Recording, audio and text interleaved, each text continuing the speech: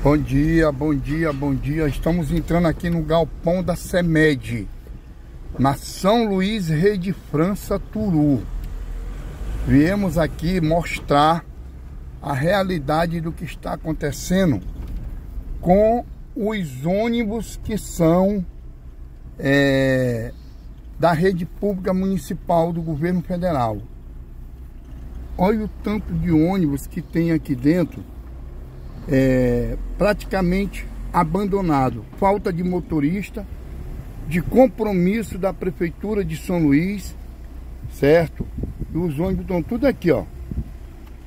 Arraial, Santa Helena, das comunidades, entendeu? Da zona. Rapaz, é incrível como esses ônibus estão aqui parados, parados sem motorista.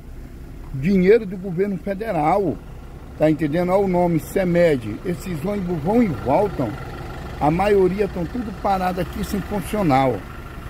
E aí, enquanto a Prefeitura de São Luís faz um contrato, tá entendeu? Tem até escrito para Pátria Amada.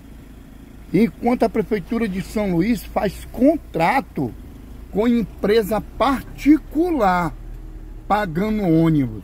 Tá entendendo? Isso aqui é vergonhoso, a gente não pode mais permitir isso. De maneira nenhuma. Entendeu? E a gente precisa denunciar isso aqui, é no governo, tá entendendo? Na, no Ministério Público, nas redes sociais. Ônibus todos novos aí, ó. Novos aqui parado, parado. Sem motorista. Entendeu? Cadê a contratação da Prefeitura de São Luís? Isso não pode. Contratando empresa. Olha os ônibus com os bancos tudo lacrado contratando empresa particular, enquanto escola da zona rural está sem ônibus. Está sem ônibus. Quem está fazendo a filmagem aqui é o Paulo Henrique, do Sindicato do Usuário de Transporte Público do Maranhão. Nós precisamos denunciar. Denunciar. Não vamos aceitar isso aqui, prefeito Brade. Esses ônibus, ele é para estar... Tá... Olha aqui, ó. Como tá esses ônibus. Olha aqui, ó. Olha aqui esses ônibus. Olha aqui esses ônibus aí, ó. Olha aí, ó.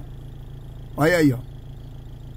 Quantas escolas estão da zona rural sem o transporte público? Quantos? Quantos ônibus estão? Bom dia a todos, Paulo Henrique.